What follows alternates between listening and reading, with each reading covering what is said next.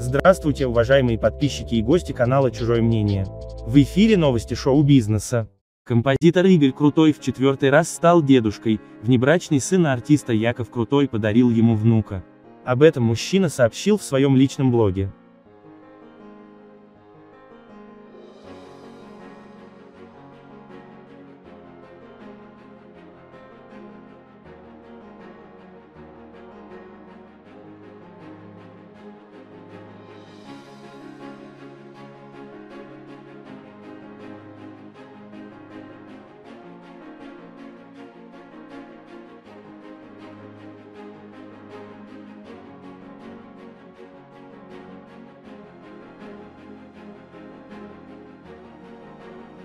Сегодня очень важный и знаменательный день, по этой причине я даже отказался от съемок. Сегодня мы забирали нашего малыша на четвертый день его жизни из роддома домой, слава богу, все прошло нормально, внучок прекрасный.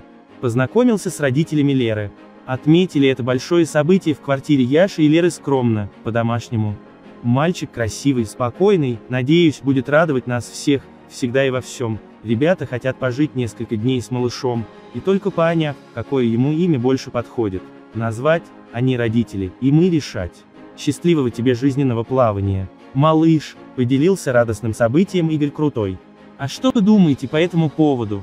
Оставляйте свои мысли в комментариях, оцените видео лайком, не забывайте подписаться и нажать на колокольчик, чтобы не пропустить свежие новости. И помните, мы ценим чужое мнение.